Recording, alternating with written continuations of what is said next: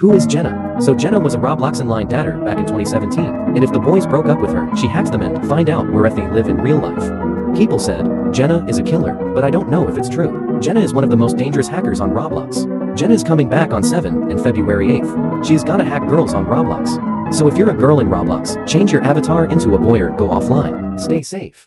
Run! Run!